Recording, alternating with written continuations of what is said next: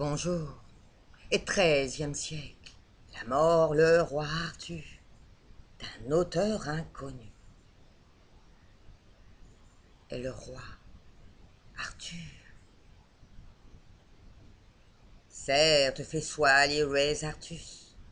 Je ne sais qui l'y chevalier est. Mais j'y quitte qu'il en avra les nord, et je le voudrais bien. Et lors commence les palais à des gens qui est touette de danse. Si descendirent les grandes et les petites, et vont empré par de force la cité de Camalot. Et, faisait tôt accoutumément, les batailles en une place mot très belle. Et, messire Gauvin,